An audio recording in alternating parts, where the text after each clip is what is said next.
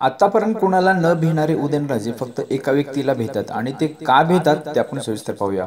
उदयनराजे भोसले बस नाम ही काफी हे हे बेधडक बोल बोलणं आणि कॉलर उडवणं तसेच डायलॉगबाजी करणं उदयनराजेंना या सर्व गोष्टी प्रसिद्ध आहेत.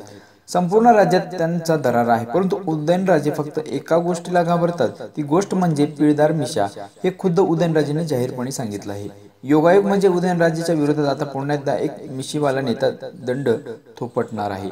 कारण सातारा लोकसभेच्या निवडणुकीत उदयनराजे भोसले यांच्या विरोधात आघाडी उमेदवार श्रीनिवास पाटील असणार हे नक्की झालं आहे. श्रीनिवास पाटलांच्या उमेदवारीने एका वेळेचे प्रश्नाची चर्चा रंगू लागली आहे. उदयनराजे आणि त्यांच्या विरोधकांच्या मिशा यांचं नेमकं काय गणित आहे? कारण की राजेविरोधात नेहमी मिशावालेच उमेदवार काय येतात असा प्रश्न मात्र आता सर्वांना पड पडत आहे. मिशी ही मुळातच मराठमोळ्या व्यक्तिमत्वाचं एक वैशिष्ट्य आहे. कारण या मिशीवरून अनेक मराठी म्हणीही आपल्याकडे वापरत आहेत.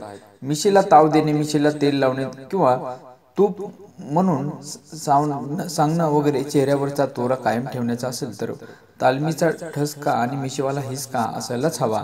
आणि त्यात पुढारी पश्चिम महाराष्ट्राच्या राजकारणात असेल तर मग त्याची बातच खूपच वेगळी.